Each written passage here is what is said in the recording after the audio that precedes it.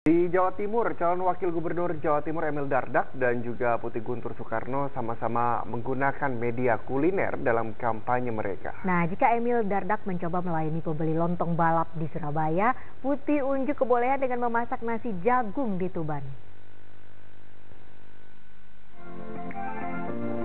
Pusat jajanan lontong balap di Jalan Raya Keranggan, Surabaya lain dari biasanya.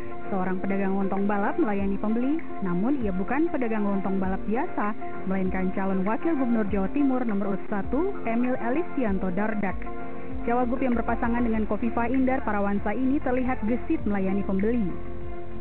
Selain melayani pembeli, mantan Bupati Trenggalek itu juga berdialog dan merekam kegiatannya bersama pedagang asli dengan kamera saya kampanye ini bukan hanya sekedar masalah bagaimana kita menang atau kalah nantinya, tapi bagaimana kita sebenarnya ber, apa, menjadikan ini sebuah momen yang sangat uh, bermanfaat untuk semua yang mengikuti.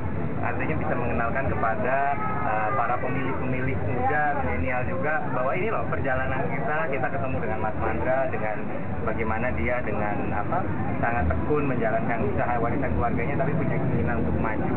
Tampil menjadi pedagang dadakan juga dilakukan pesaing Emil Putih Guntur Soekarno. Calon Wakil Gubernur Jawa Timur nomor urut 2 yang berpasangan dengan Syaifullah Yusuf itu memasak nasi jagung saat berkunjung ke desa Tegal Agung, Tuban. Cucu Bung Karno itu meramu makanan khas Tuban dengan ikan lele dan belut goreng rica-rica. Nasi jagung memang katanya eh, apa padanannya adalah dengan nasi jagung. Enak dan mudah-mudahan ini sesuai juga dengan program kami ke depan. Yang pertama itu tentang ekonomi kreatif ya. Jadi kuliner di Jawa Timur itu harus diangkat menjadi apa namanya ikon-ikon di setiap kabupaten kota. Mencicipi kuliner khas daerah bersama warga menjadi strategi kampanye para kandidat wakil gubernur Jawa Timur untuk meraih simpati sekaligus untuk mendulang suara di Pilkada serentak tahun 2018 ini. Tim Liputan iNews melaporkan.